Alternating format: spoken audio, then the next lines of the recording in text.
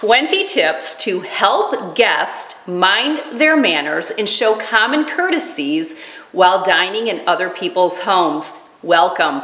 Most of us will not have the privilege to implement these manners and common courtesies today, but I assure you that there will come a time where you will be in a situation where you are going to want to know the proper etiquette to be a guest. This video covers any time of the year. So when that time comes, you want to be prepared. I say all the time, failing to plan is planning to fail. You don't want to learn these common courtesies after attending a house party. You want to know them before. That is why today's video comes to you at a perfect time. Most of what I share with you today will apply whether you are dining in someone's home or you are dining at a restaurant. Understand that etiquettes are different in different cultures and countries. I live in the United States, so I know the common courtesies in dining etiquette for where I live. If you live somewhere else in the world, please take what I share with you today and see how it applies to the region that you live in. The tips that I share will apply for a smaller dinner party where maybe it is just you, your significant other, and another couple, or maybe there's a few couples, or maybe it is a larger gathering. This really applies to a seated meal, but if you do attend larger gatherings, it's not uncommon to see the food served buffet style. Many of the manners that I share with you today will apply to any situation that you can be in. Once the host reaches out to invite you for dinner, it is very important that you RSVP promptly. That does not mean that you need to RSVP on the spot. In fact, I would encourage you not to. You may have to check in with your spouse or significant other. You may have to see if a babysitter is available. Regardless, you want to make sure that you let the host know promptly if you will be attending or you will not. This will help her in preparing for the guest that she will be hosting. Typically, you will RSVP the same way that the host reached out. If the host reached out through an email, feel free to respond to that email. If they call you and leave a voicemail or they just call you and talk to you, you typically would want to respond back the same way. If it was through text message, feel free to respond through a text message. This is also going to be the perfect opportunity for you to ask any questions that you may need to know prior to the dining experience. If the host did not mention bringing the children, then they are not invited. If you are at all in question, feel free to circle back and confirm. Do not ask if you can bring the children. Respond back with your RSVP saying, I just want to be clear, the kids are not invited. Is that correct? The reason for that is you don't want to put the host on the spot. If the kids are invited, she will respond back and say, No, please bring the kids. They're welcomed as well. If your kids are not good with table manners, it may be in your best interest to get a babysitter, but never assume the children are invited. Generally, if the party is later in the evening and cocktails will be served, the children will not be invited. This will be an adult only gathering. Also, you never bring an uninvited guest. If the party host invites only you, then only you attend. If they reach out through a text message and say, What are you doing next Saturday? We would like you to come for dinner. It's okay to circle back if you are in question to be certain, but never respond back in a way where you are imposing on them that you would like to bring someone. Let them determine that and they will happily communicate that back. Offer to bring a contribution to the dinner. If the host declines the offer, do not bring anything. If the host tells you to go ahead and bring a dessert, be sure that you either bring a homemade dessert or a dessert from a gourmet shop. You don't want to bring a brownie mix that you made. You don't want to pick up cookies at your local grocery store. It is important if the host asks you to bring a dish to pass or a dessert or something, it shows that you put effort in either by making it yourself or going the extra mile by purchasing something from a gourmet deli or a gourmet bakery. Arrive on time. Do not arrive early, arrive on time and within five to 10 minutes late if there is a window between cocktails and dinner. That's very important for you to know. If the host invites you over at six o'clock for dinner, I would confirm with the host that dinner is at six. Typically, when someone reaches out and asks you to come to dinner for six o'clock, you are not going to eat until 6.30 or 7. It's disrespectful to show up prior to 6, but you want to make sure you arrive close to 6. Once you arrive, you will have some time to settle in, to mingle, have a cocktail before dinner. Let me add in, it's never acceptable to be late for dinner. When a time is set for the actual sit down dinner part, it's very important that you are already ready to go. You have already removed your coat, your shoes, you've used the restroom, and you are not holding the guest up in any way. Once you arrive, put your cell phone away. Silence it and put it away. Put it in your handbag and put your handbag someplace off to the side. I understand that periodically you may need to check your phone. If you have a babysitter, it would make sense that you need to check in periodically. The important thing is you are going away from where everyone is at to check your phone. That's why it's important to keep your handbag off to the side someplace or in another room. It is extremely disrespectful to check your phone during dinner.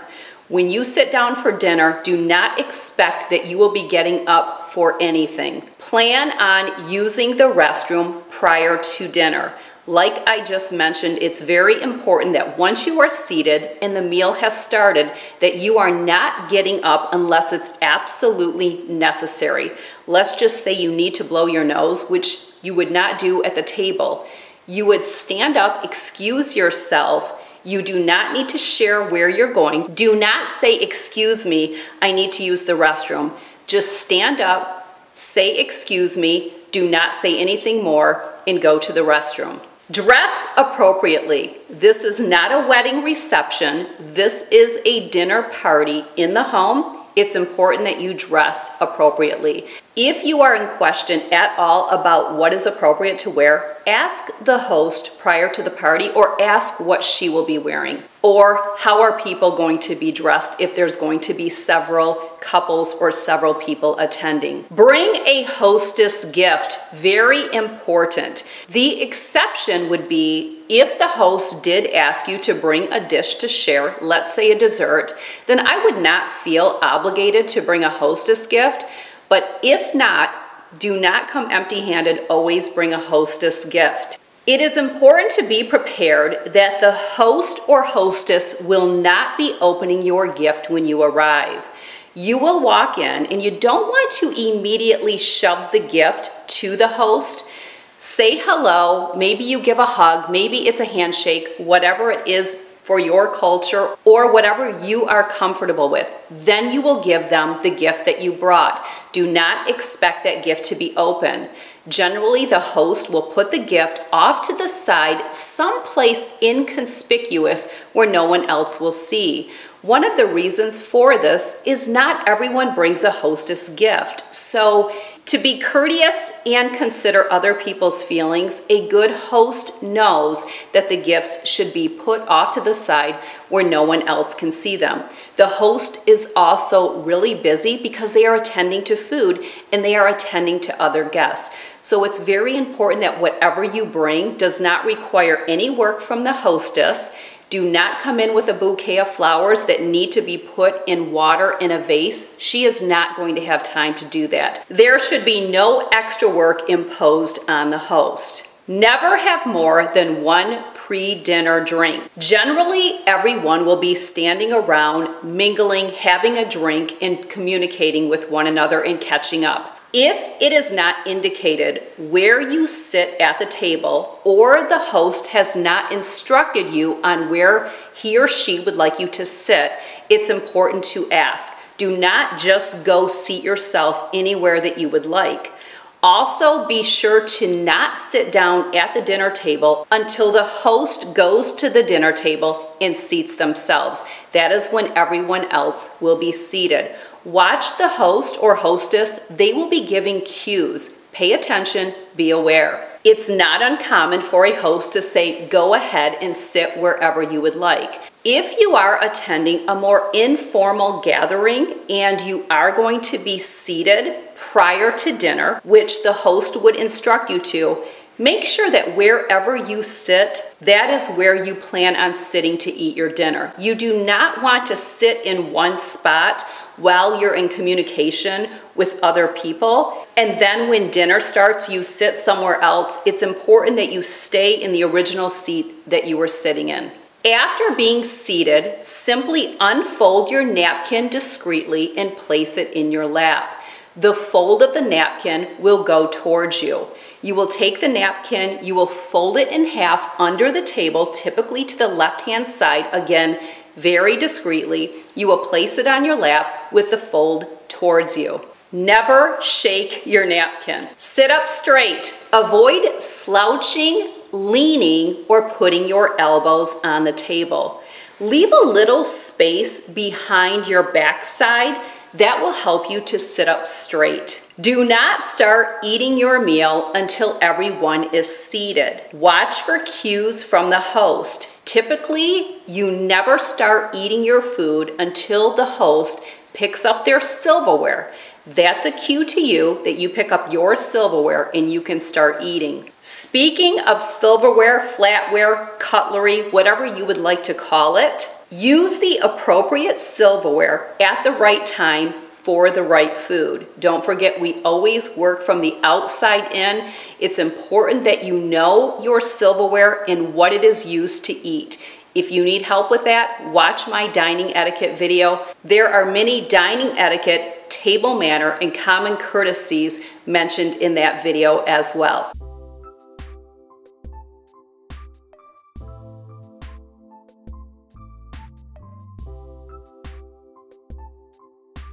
Avoid discussing controversial or painful family subjects. Do not talk about diet and exercise, what diet you're following, what diet this person's following. Don't talk about it. Don't talk about weight. Don't talk about your health, good or bad. This is not the time nor the place. Let me also back up to the beginning when you receive the RSVP that is when you would want to let the host know if you have any medical food allergies. I'm going to say medical because it is disrespectful to the host, especially if they have several other guests attending, to have the host modify what they are serving because let's say you're following a specific weight loss diet. If you are so set in stone of not deviating from your diet plan, which you get to, you may want to decline dinner offers because it makes it difficult for the person hosting to make entrees that are specific to one person's diet, especially if they are hosting several people. I'm sure if you think about this, it would make sense. Much different if, let's say, my husband and I were having one couple over and both of them eat keto. That's different. But when you're hosting several people, it makes it a lot more challenging.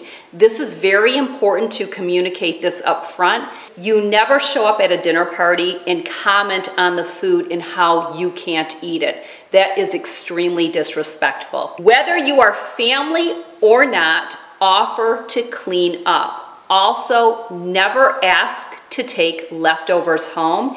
If the host offers it and you would like to take her up on that offer, feel free to, but never ask. Don't overstay your welcome. This is another area where you want to watch for cues from the host. Typically, we can sense when it is time to leave. You never want to leave immediately after dinner. That is disrespectful as well. You always want to wait a little while and it's important when you leave that you always say goodbye to the host or hostess and you thank them. You keep it brief and short because there could be other people, other couples at the party that they have to attend to. So you don't strike up some conversation when you are standing by the door. You keep it brief and simple. Also, if it's a small party, you want to be sure to say goodbye to everyone. If it's a larger gathering, it's okay to only say goodbye to the host and not everyone else because that can be very time consuming and it can be distracting. The last tip that I have to offer is within two days of the party being over, it's very important for you to send a handwritten thank you. I do have a video where I talk about the significance of a thank you card. It's very important that you follow up and this should be done promptly. I try to have a thank you card already purchased on hand, ready to go before the day of the dinner party even comes because the next day, while everything is fresh in my mind, I know that my words are going to come from a much warmer place because it's fresh in my mind. Always express how appreciative you are that they invited you and acknowledge how much work and effort they put into hosting. I'm going to end this video with a few common courtesies that I talk about in my dining etiquette video. It's really important to watch that. Stay tuned. In 2021, I will be doing a revision of that video. I've made some modifications and changes, and there are more common courtesies, dining etiquette, and table manners that I would like to share with you also different situations that I have witnessed that I would like to impart on you. Common courtesies. Don't talk with food in your mouth. Don't chew with your mouth open. Don't blow on your food. Don't slurp, blot, don't wipe when using your napkin. Very important. Don't salt your food until you have tasted it. Keep the rim of your plate as clean as possible. Always pass the food to the right and always pass the salt and pepper together. Salt and pepper never separate. If someone asks for the pepper, the salt goes with it. Hold your glass properly. Tumbler glasses are held near the bottom, wine glasses are held by the stem, and a goblet is held by the bottom of the bowl. If a toast is made, it should only be done by the host and you simply raise your glass. Do not cling your glass with anyone. And when I say do not cling your glass with anyone, I mean ever. Just raise your glass. That's all you need to do. Stay tuned. My next video will be how to be a savvy host when you are having a dinner party. Coming to you in a couple more days. All right, thanks for joining me. Take care.